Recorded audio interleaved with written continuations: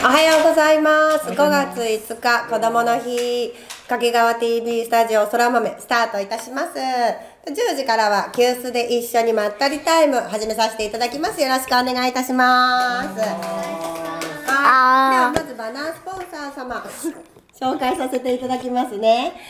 シェアショップそら豆スタジオ会場協力もっと楽しくもっと自分らしく笑顔の家づくりウィングホーム株式会社様。ありがとうございます。よもぎ虫とマッサージ生理生理痛改善サロンカオキン様。ありがとうございます。ペットの複合施設 DC キャッスル様。ありがとうございます。亀屋鍼灸者のびのび様。ありがとうございます。心理カウンセラー吉本みかん様。ありがとうございます。美容の力で世界を笑顔に袋井の街行く脱毛はソワニエ様。ありがとうございます。抱っこで産後エクササイズお寺でベビーダンス皆川由紀子様。ありがとうございます。パレスホテル掛川様。ありがとうございます。手作り雑貨とワッフルのお店サムズカフェ様。ありがとうございます。世界で一つの贈り物日本ハーバリウム協会にシャルマン様。ありがとうございますあ以上のスポンサー様のおかげで掛川 TV は楽しい情報発信の場所を提供できております。ありがとうございます早速ですけれども急須で一緒にまったりタイム始めていきます。今日のゲストはアトリエ雪月花の神田愛子さんです。よろしくお願いします。はい、今日ね、えっと、掛川 TV 出演初めてということで、かなり緊張されていますけれども、たくさんね、いい情報を持っておりますので、今日30分使ってお伝えしていきたいと思います。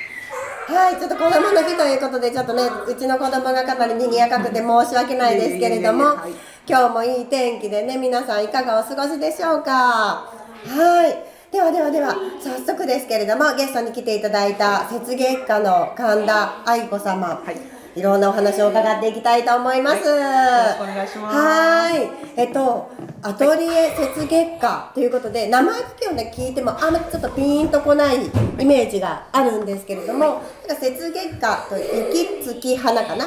で、こう字を見ると、なんかすごい可愛らしいイメージがあるんですけど、普段は何をやられているんですか？普段はですね、あの練馬町の花屋に勤めておりまして、はいえーお休みの日などに、まあ、個人的に、まあ、お金に関することで、まあ教室といったらちょっと、はいはいはいはい。あれなんですけど、まあ、ちょっといろいろ人に教えたりしたいなと思って、はい去年かな、はい始めております。去年、はいそうなんですね。じゃあ1年くらい。そうですね、ちょうど1年ぐらいでしょうか。そうなんです、じゃあもうほやほやで今ねこれからこう頑張っては配信していくところかなと思うんですけれども、はい。じゃあお花に関してハーバリウムだったりとか今日ねあのいろいろ持ってきてくださっているんですけれども、ボールペンだったりリースなんかを作っているということで可愛らしいね名前をこうつけているんですけれども。それこそお花の仕事に就いたりだとか、ハーバリウムをやってみようと思ったきっかけって何ですか、やっぱりあのーその時の、まあ、花屋に勤めてても、その時の、まあ、流行りとかってやっぱあるんですけれども、ちょうどやっぱ去年ぐらいですかね、ハーバリウムが流行りだした時に、やっぱ自分でも、うん、やってみようかなって、うん少しでもちょっと流行りのものを取り入れたいなとはいはい。思って、まあ、それを自分が習ったことによって、まあ、花屋というものには還元できればいいかなと思って習い始めたというのがきっかけですね。はい。そうなんですね、はお花屋さんをやってることから、まあ、ハーバリウムというものにこう入っていったっていう感じだとはい。お伺いしたんですけど、はい。うん。ハーバリウム流行り始めたのって去年でしたっけ？去年？わかんない。なんかまだね。今、うん、今すごいもうなんかどこに行ってもあったりするので、割とこう身近なものだったりとか、やっぱ私の知り合いの方でも、何人かねハーバリウムのあの資格をね持っている方がいらっしゃったりするのですごく人気のあるものだなっていうのは感じます。そうなんか1年通してもすごい綺麗に置いておけるじゃないですか。そうそれがすごい私的には魅力的でなんか成果だとどうしても枯らしちゃうんですよ。枯らしちゃうし、うちちょっとペットを飼って猫がいるんですけど、一匹ものすごく花と草が好きで、飾っておくとめっちゃ食べちゃうんですよ。そうでななんかあっという間に花がなくなっていってしまうので、枯れてなくなるというより食べられてなくなるんだよ。そうことが多くって、でなんかこうやっぱ。花のある生活ってね、あの愛子さんもこう家にねこう花のある生活をしてもらいたいっていうお話も以前伺ったりしたんですけど、そう花があるってなんか女性的には素敵なねこうブースになるというか家の中でもいい場所になるのかなと思ってそうハーバリウムはねとっつきやすかったです。ちょっとまあインテリア的なものもあるとは思うんですけど、やっぱりこう持ちがいいということで、まあ、成果も魅力的なんですけど、やっぱりそういった長期間そう飾っておけるものによってやっぱりこうちょっとこう何気ない生活の中でというか、うん、癒しになるのかなって。なると思います。そうですね。そう、でもあのムっていうのはどのくらい持つんですか？大体半年から1年ぐらいは持つと思います。そうなんですやっね。ぱり自然なものを使っているので、うんうんまあ、多少こう色が落ちたりとかするんですけど、はい。うんうんまあ、ちょっとそこも、うん、あの天然のものを使ってるということで、うん。ねえ。まあ、自然の流れっていうか、うん。そういうものも感じていただけるのかなと思います。はーい、すごいなんかね、私も作らせてもらったりとか、そう今月に1回愛子さんをあの急須っていうあのスペースにお呼びさせていただいて、あのこのねオノレ書とハーバリウム、ハーバリウムは作ってないんだか。そうですねまだですね。そう。先月はこのね、はい。ネックレスちょっとね超遠くで見えないんですけど、ネックレスとピアス。こんな感じのものをね。そう、作らせてもらったんですけど、そうあのハーバリウムでこう何かものを作った後に己己書でこう字を書いていただいたりっていう、そうコラボのね企画をちょっとやらせていただいていて、はい。そうなんかハーバリウムも大きいボトルのイメージがあるんですけど、なんか結構大きいボトルだとお花もね選んだりとかこう大変だったりするなとか、ちょっとこういう可愛らしいアクセサリーをね身につけていたいなっていう方にはね小さいこういうピアスとか、あネックネックレスなんかもね作れるので、とってもなんか持ち歩くのにもいいですし、そう今月はねちょっとねここにも今後の予定で愛子さん書いてきてくれたんですけど5月の30日にそれこそあの急須の場所でボールペンを作ります。はいそう前回はね前まではこれしか見たことがなかったんですけど見てくださいこのスノードームちょっと貸して。スノードームのようなありがとうございます。スノードームのようなそうボールペンの上にねクリッとついてるのがすっごい可愛くってそう今度はね私このボールペンをね作りたいなと思っているんですけどそうなんか本当にあの家にあるのもいいですけど、持ち歩いてちょっとした時にこう見たり触れたりするだけで、なんかその花からもらうエネルギーじゃないですけど、そう色も鮮やかですし、もうこう気分がこう上がるというか、そうなんかとってもなんか女性的ですし男性がねこうちょっと暗い色というか、ブルーだったりとか持っていても、かなりねあのファッショナブルでいいかなと思います。はい。そう、そんなね私がちょっとこうお話ししちゃってるんですけどハーバリウムとかこうリースとかを作ってらっしゃる愛子さんですけど、愛子さんから見て、お花の魅力だったりだとか、こう自分が取り扱っているお教室とかでねやっている製品、作るものなんかについての魅力ってどうですか、これからこうあチャレンジしてみたいって人絶対いると思うんですよ、うん、その前多いとにこ思う自分がね、うんうまくならなきゃなっていう、まあ、修行の意味も込めて、今ちょっといろいろやらせていただいてる感じなんですけども、やっぱりこうお花そうですねちょっと身近に感じていただくというか、うんやっぱ、う。うん。成果にしても、まあ、今ちょっと流行りのドライフラワーとかあるんですけど、うんそういうもとかやっぱ家の中にあるだけで、やっぱりちょっと違うと思うんですよね。うん。でやっぱりアトリエ雪月花のその由来になってるその雪月花、まあ、四季折々っていうまあ、季節の移り変あーわりなるほどね。うん。まあ、こういう作品作りを通じてちょっとしたこうち ょちょっとしたあの季節の移り変わりを、まあ、感じていただけるような作品作りを、まあ、お届けできたらなと思っております。確かに。違うんですよね、うん。お花少しあるだけで違も。う違うし、本当季節を感じられますよね。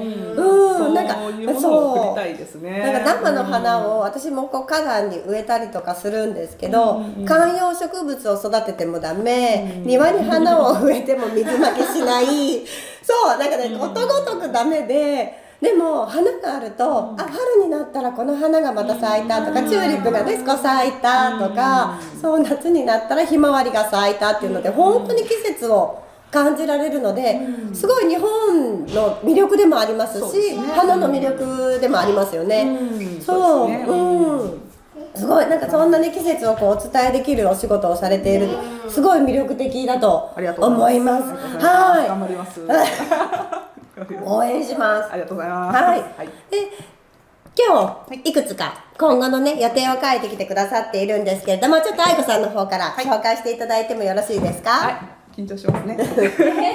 えー、5月の2日木曜日、えー、あきみさんのはい。急須さんで、はい急須で。えーこちらのハーバリウムのボールペン作ります。作らせていただきます。こちらは絶賛ご予約受けはい、受付中です。で、おのれ書の方もね、あの書いていくんですけれども、ちょっと前回は母の日のお母さんありがとうなんかを書いたんですけど、このねはなんかもかけたりします。でもうね、父の日も近いので、父の日のパパありがとうとかね、いろんなコメントを書いていただくこともできますし、ご希望のね、文字を私の方であのアレンジさせていただいて、それを見て書いていただくということになっているので、すごい自分の好きな字が書けるので、かなりお得です。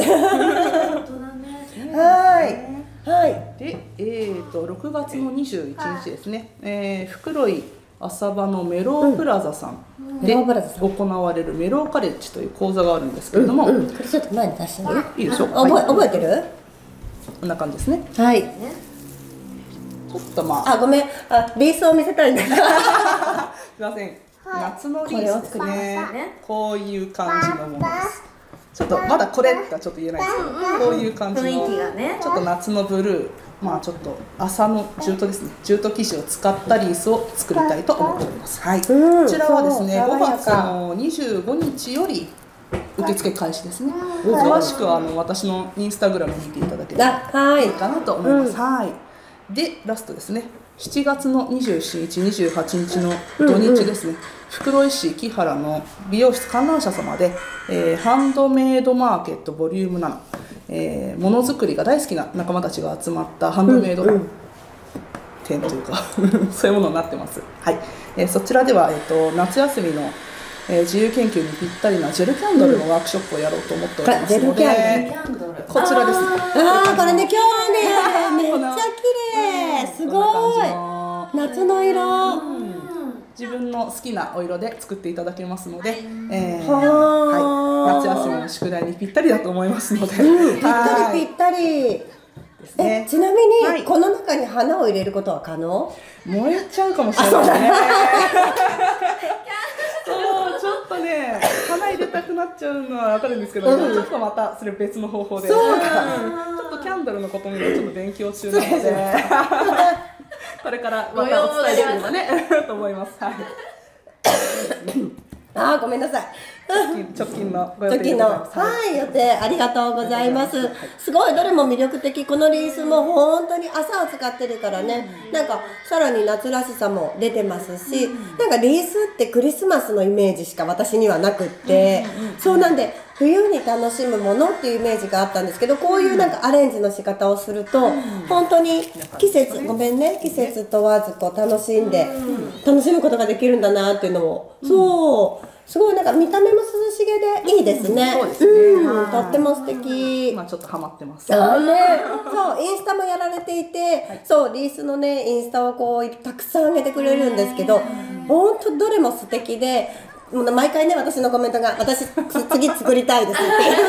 毎回そのコメントを上げてるんですけどなかなかちょっとチャンスがなくってね作れてない状況ですけど本当にあの季節それぞれね色もアレンジできますし素材で結構やっぱ季節感って変わりますよね。そうですね、うん。そういうところでまたちょっと楽しんでいただければかなと思います、はいはい、ぜひぜひ、えっ、と、メロープラザさんで、袋井ね、6月21日にやります。はい。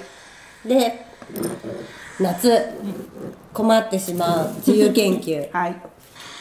え、これ、これを作って自由研究が完結になるってことですか？させましょう。はいすごい。じゃあなんかあの書かなきゃいけないレポレポートなんかもアドバイスしていただけるってこと。ですかすね。はい。今ちょっとそのねネタを拾ってるところですけど、はい。いやー嬉しいですね。はい。お任せそうください。もうなんか小学生必見。小学生だけ？うん大人も。大人も、はい誰でも。は い誰でもやっていただきます、ね。はい。そう自由研究がある方ぜひぜひこれね本当に綺麗なのでそうで一日一日もかかんないですよね作業時間どのくらいですか？大体30分前後見ていただければいいかな。はい。うん。しかもね他のあの観覧車様はい。ではいろんなワークショップやってるっていうことなので、はい。ね、他にもね自由研究にこうぴったりなものがあったりすると思いますし、今回は特に多いと思います。あそうなんですね、はい。いやーちょっと困ってる。内容にね困りそうだなっていう方ぜひぜひ、えっと、7月の2728日の土日ですね。やってますので、ぜひ足を運んでくだおさ願いいそうで袋井あ観覧車様は袋井ですね、はい袋ですね。はい。やってます。ごめんなさい。なんか子供の風邪をねもらってしまって本当に。言語変わって早々ね風邪ひいてしまいましたけども天気のねうん、気温のね温度の差が激しいので皆さんもぜひぜひ気をつけてください。はいでは、えっと今日ですけれどもアトリエ雪月花の神田愛子様を紹介させていただきました。ありがとうございます。はい。では次回え次回じゃない。